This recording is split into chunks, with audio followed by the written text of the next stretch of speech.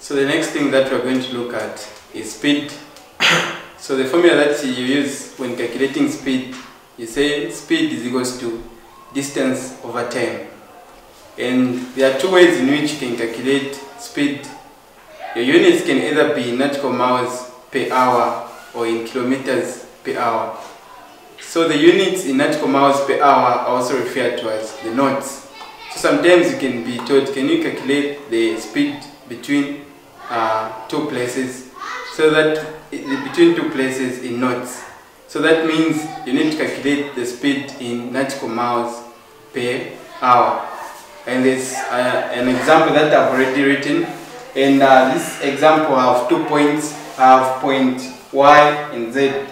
So point Y is on latitude 30 degrees north and on longitude 15 degrees east. Point Z is on latitude 40 degrees south and on longitude 15 degrees east. And the question proceeds, if the time taken for the ship to move from point Y and Z is 2 hours, calculate the speed in knots, then Roman numeral 2, the speed in kilometer per hour. Then the radius have been given 34, 37 nautical miles. Pi have been given 3.142. Again, the radius have been given as 34, uh, 6370, sorry, 6370 kilometers. So to start with, I'll first calculate the speed in knots. So this is Roman numeral 2. So I've said the speed in knots is the same as nautical miles per hour. So speed in knots is the same as nautical miles per hour. And since time have been given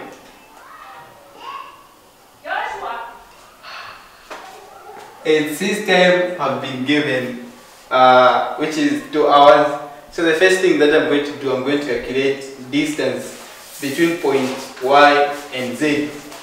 So I'll say uh, length of arc length of arc YZ is equal to theta over 360 degrees multiplied by 2 pi r.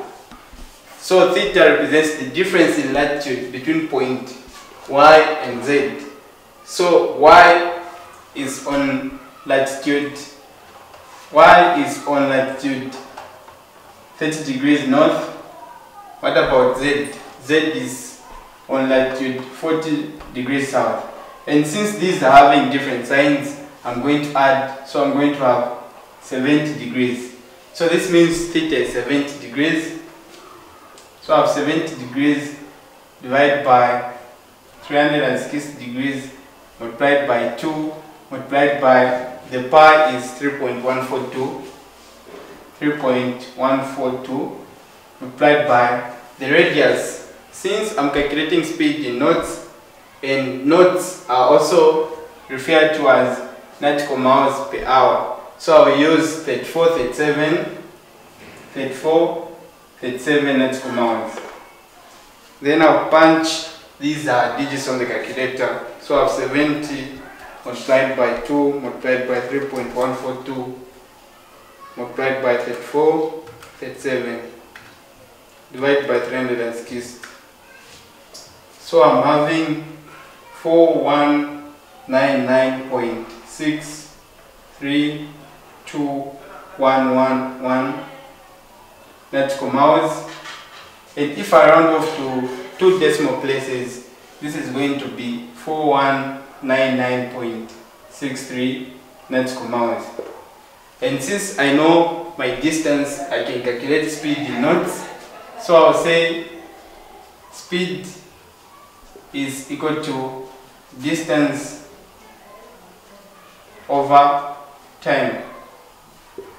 So the distance between point Y and Z is this. So I have 4199.63 nautical miles over the time taken for the ship to move from point Y to Z is 2 hours. So 2 hours. And this will give me, so 4199.63 divided by 2.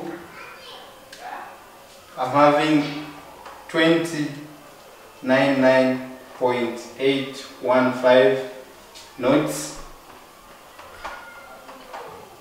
And if I round off to two decimal places, this is going to be 20, 2099.82 knots. So this is the speed in knots. Let us calculate the speed in kilometer per hour.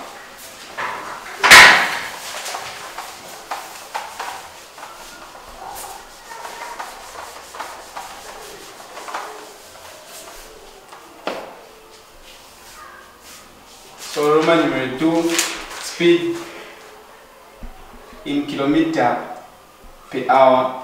So the first thing that I'm going to do, I'm going to calculate the distance between point Y and Z. So length of arc